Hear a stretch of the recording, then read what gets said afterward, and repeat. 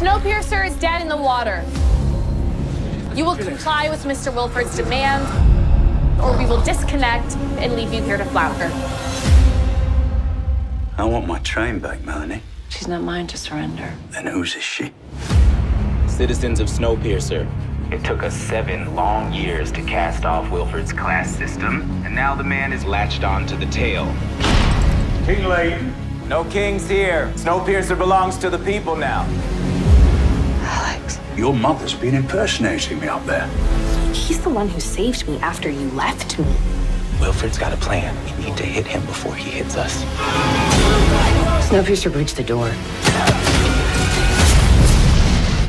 I can't disconnect. We're stuck together.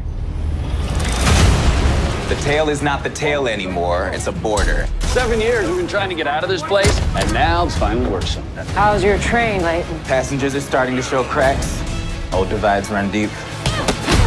Mr. Wilford doesn't just want control of his train. He wants control of all of you, body and soul. What's that look like to you? Wilford was dead, and now he's resurrected. It's a powerful narrative. Still have friends up here, sir. It was snowing outside. That's impossible. The Earth is warming. The planet could support recolonization in our lifetimes. The hope is real. Melanie's getting off the train to prove it. Good men and women don't seem to stay good long doing this, do they? Doesn't really suit you, does it? Running the train. I built the world! It's the only one left, and it's mine! It's gonna be a long, cold war.